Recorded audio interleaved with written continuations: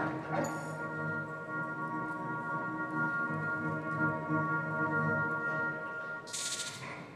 afternoon. I'm standing between you and lunch, I realize that, so I will try to make this short.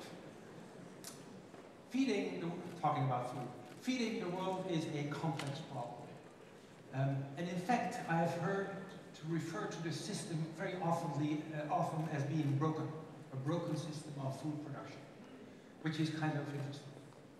But you can understand that. On the one hand, we are over-consuming on this part of the, in this part of the world. On the other hand, 800 million people are still undernourished. So how can you consider that a, a interesting and good system? But calling it broken implies that at some point it was okay. It was an okay system. And in many ways, our food production system right now is much, much better than it had ever been in the past. We're producing much more food with actually less resources than we ever had before. And if we would find a solution to distribute waste, this conference is already contributing to that, um, redistribute waste, we actually would have solved some of those problems. We are going to 2 billion people with increasingly sophisticated uh, appetites for food. Some of them are really, really resource intense. Um, and we can probably no longer keep on doing business as usual.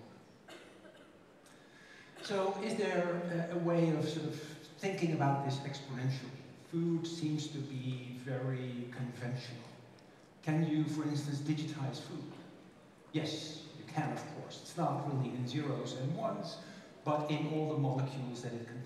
We are, as human beings, are basically a bag of chemical reactions. And um, we have to build and regenerate our system by using sugars, amino acids, vitamins, minerals, all those chemicals that we ingest through our food.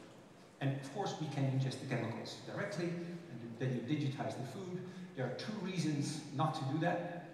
One is prosciutto di Parma, um, and the other is Parmigiano Reggiano. And of course I'm saying, and of course I'm saying that because I'm in Italy. Um, the, um, but in truth, there are ways there are reasons uh, why you shouldn't do that. Um, the other uh, thing is deception. Uh, we tend to think of agriculture as a low-tech system, and it's not. It's actually the area where robotization, big data um, are, are sort of pioneered. Um, it's a highly, highly technological system. And we tend to repress that idea because we don't want, because we ingest food and we don't like the idea of ingesting technology. Right? We are biologically programmed not to ingest things that we don't see as regular foods. Can it be disruptive? Yes, it can, and I will show an example of uh, cellular agriculture, and there are many examples. This is just one of them. Um, can you demonetize? And in fact, you, you can into, into, uh, to certain degrees. If you have a vegetable garden and you share your uh, produce with neighbors, you're basically sharing and you're demonetizing. And you're actually also um, uh, democratizing food production. Can you dematerialize? No, you cannot. I, I don't see a way how you can dematerialize food. It will always be a material. Can you democratize? Yes, everybody can be a food producer. And we know that from vegetable gardens, but can we also do that for more difficult systems, like can we create animal proteins in our homes? Uh, can we create milk? Can we, can, we create meat? Um, can we create cheese uh, from scratch? So when I think about Italy, uh, this is sort of the uh, romantic image that I have of Italy. Um, and this has everything. It has companionship, it has good food, it has uh, outdoors, it has um, good um, uh, laughter, it has everything. And wouldn't it be wonderful if in the future, even with any technology that we have, we could retain this? That would be kind of an interesting uh, prospect, I think. food is going to be, is, it has always been and will continue to be a good excuse to socialize. So, if that's the image of Italy, this is the image of California. Um, and no bad words about California, but uh, nerds in California have come up with Soylent, which is basically a completely deconstructed food. Um, five bottles of liquid, has all the nutrients, has all the sugars, amino acids, vitamins, minerals, everything that you need. Comes, comes in four flavors, um, and you can just keep on typing on your computer and working, and you don't have to socialize um, while getting all the ingredients. We have a choice. We can choose one or the other, or any other variations in between. And consumer choice is something that is extremely powerful in directing the way we are moving forward. So my problem is that I love meat. And meat is an incredibly resource-intense product. For a quarter pounder of hamburger, uh, you need about eight pounds of grain, uh, which you can also eat. Uh, about nine square meters of land, just for one hamburger. 1,200 uh, liters of fresh water and enough power to power your microwave for about 10 minutes. So it's incredibly resource-intense uh, material. Yet, it's highly popular. And you've seen on that table uh, in, the, uh, in the yard that there was a piece of um, ham there. Um, it is very, very cherished. So can we do something about this? Is this going to be sustainable? It's actually not. Um, currently, we're using 70% of all our arable land for livestock meat production. Um, and according to the FAO, in 2050, so 35 years from now, you have heard that this is not too far away, meat consumption globally will be increased by 70%. Why is that? That's not because you and I are going to eat more meat, but it's because it's associated with wealth. And um, in India and China and at some point Africa, people become wealthier and they start to eat meat. It's happening right now, and according to the FAO, it will continue at least until 2050, 70% increase. There's no way we can produce that with business as usual.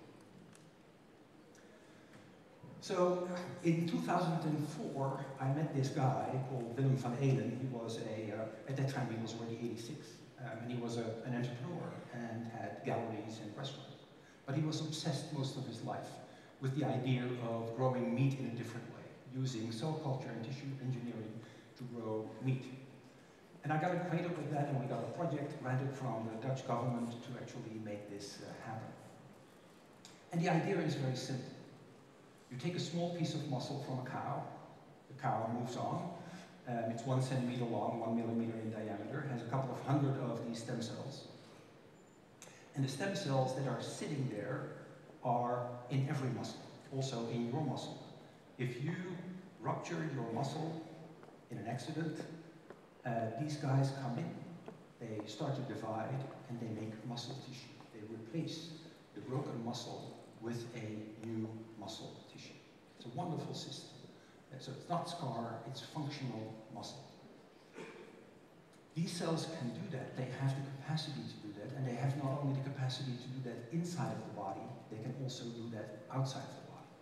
So what we do is we take this small sample, let those cells grow out, let them expand till we have trillions and trillions of these cells. They have a tremendous replicative capacity.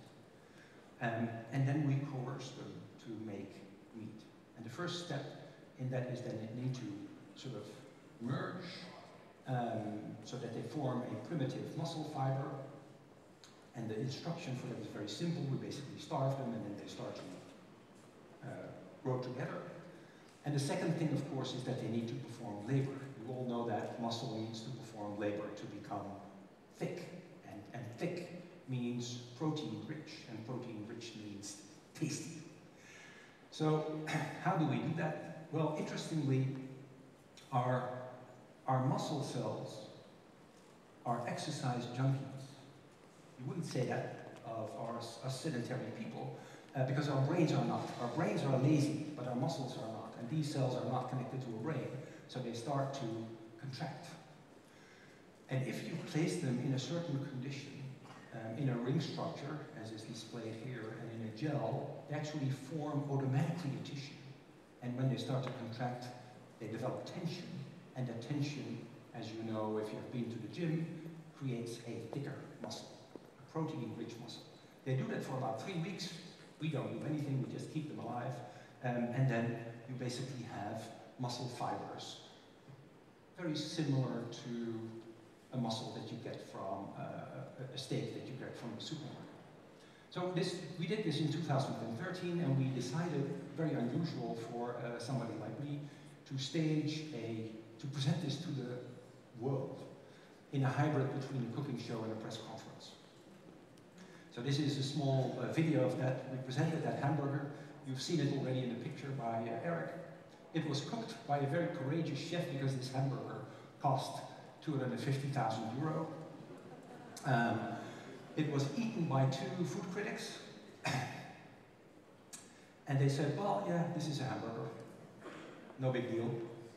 Um, was a little bit dry, there was no fat tissue, it was not, and it was not also really a product launch, if you like, it was just showing to the world, guys, this is possible. And we also should rethink the way we produce meat in the future.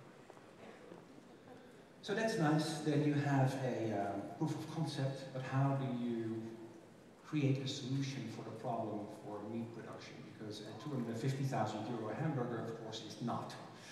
Um, so fortunately, by doing this in cell culture, we can work on those cell culture conditions.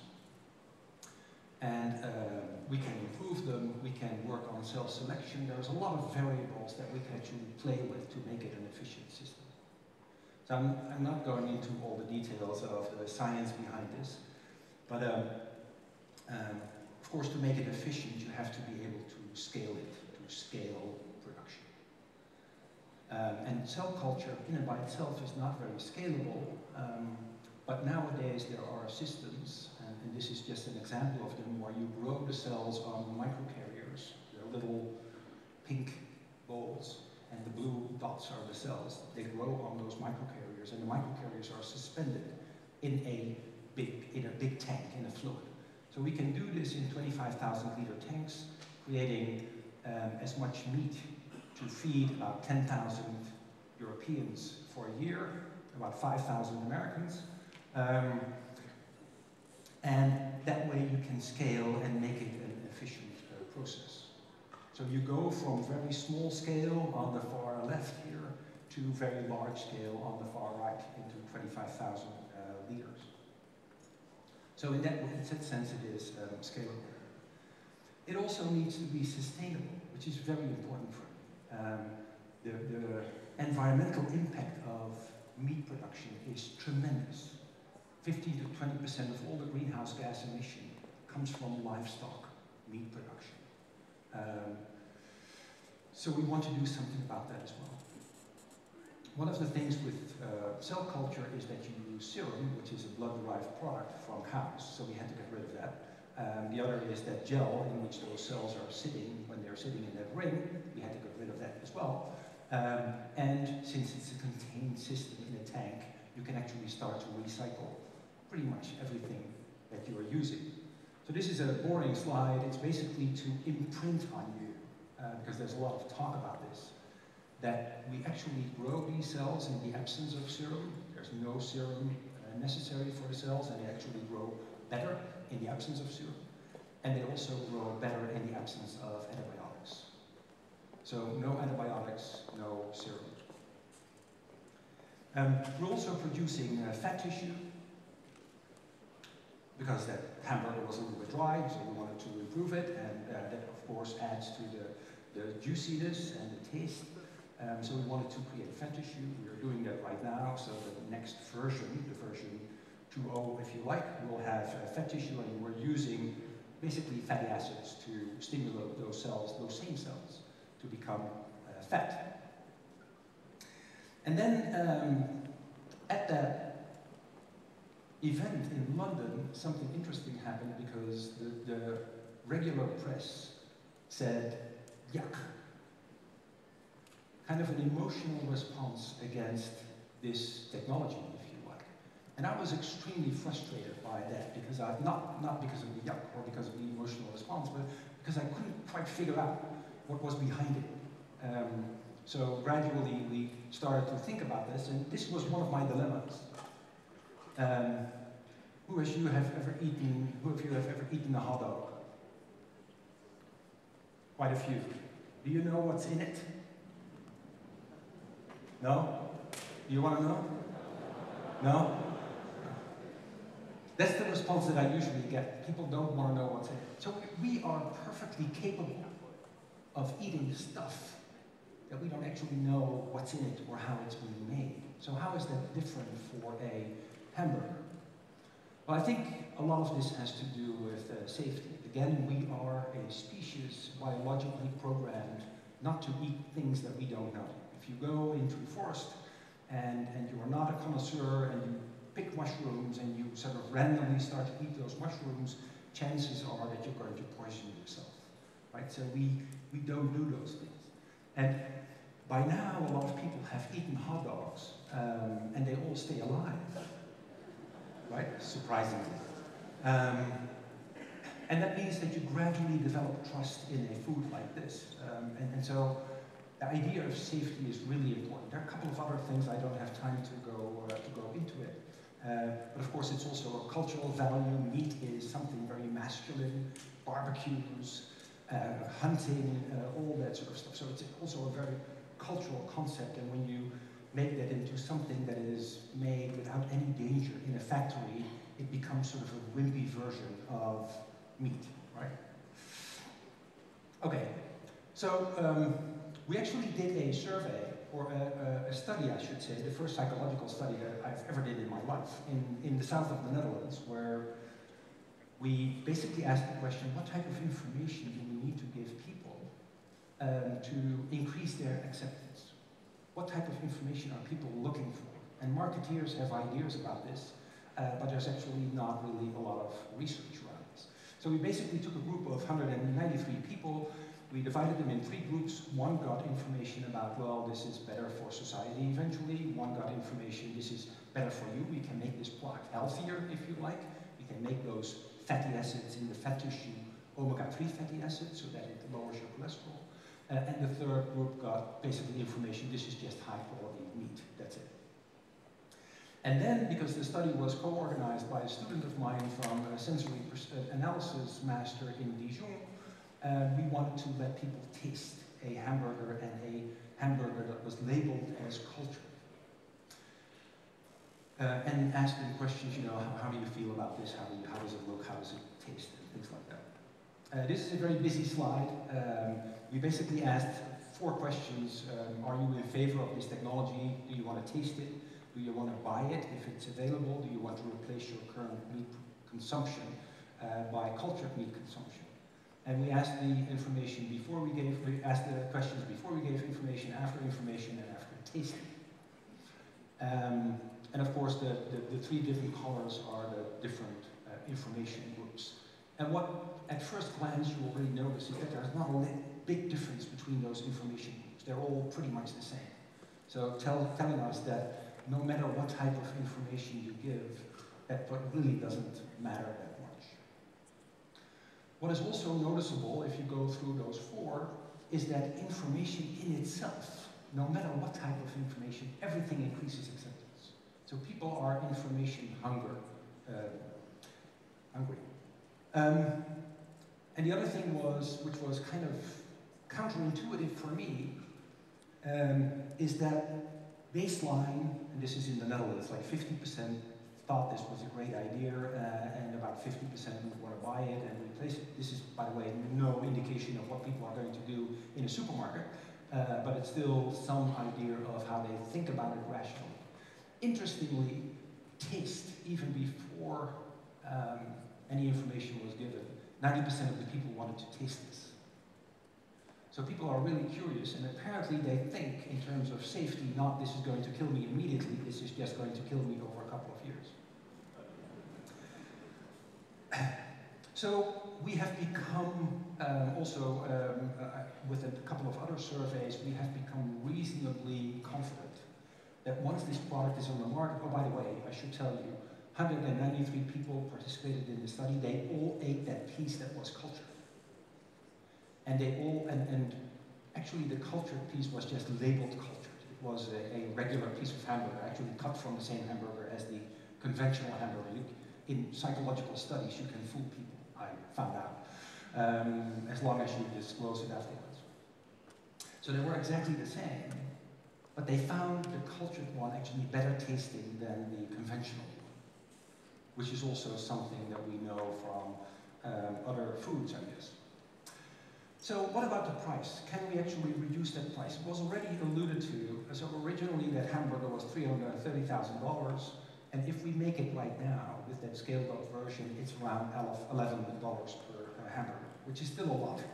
Um, can we go from that price point to a lower price point? We have done a lot of calculations and a lot of studies um, to show that this actually can be uh, reached. And in our minds, eventually it will reach a price point below that of regular meat. Because the conversion ratio, which it means how much food goes in it and how much meat do you get out of it, which for an, which for an animal, especially a cow, is really abysmal. It's like 15% we get out of that cow. Um, if you were to design a protein-producing system right now to feed the world, you would never, ever come up with a cow. Right? It's just not very efficient. So if you improve that food conversion ratio, you in inevitably are going to reduce the price to a, regular price. So up to two years ago, this is kind of interesting, up to two years ago, I was the only one in the world doing this, which kind of feels lonely after a while. And think, well, maybe Maybe I'm wrong. Um, but um, this slide has to be updated pretty much every couple of weeks. Um, so this is a very busy slide. I just want to focus on clean protein. This is not only meat, this is also chicken, also fish, also milk. Um, and there are now 27 companies. Just in the last couple of months, the number of companies is kind of exponentially rising. Companies uh, doing this. Um, and equally interesting is that in terms of uh, funding, it comes from large meat companies like Bell, like Cargill, like Tyson, and also from large uh, venture capital uh, firms like uh, Merck Ventures, and New Crop Capital, um, and Blue Horizon, uh, but also uh, Richard Branson earlier named, Bill Gates.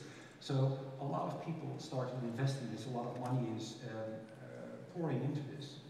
And um, in my mind, that's sort of a confirmation that this is going to happen. This is going to be a novel food. Um, in Europe, that means that you have to go through a safety uh, regulation, so we have to prove that this is absolutely safe. Um, and I want to prove, of course, that it is absolutely safe. As a consumer, I would like that, so we all need to have that. And also, if EFSA eventually deems this to be safe, then we should all be confident that it actually is safe. So that, that is just regulation, takes a while, takes money, takes patience, um, but we are quite confident that we will get there. And then this futuristic picture, this really futuristic picture, all of a sudden is still possible. Um, and this will allow us still the choice to eat whatever we want without the negative consequences on environment, animals, and, and food security. And with that, I would like to thank you for your attention and have a nice lunch.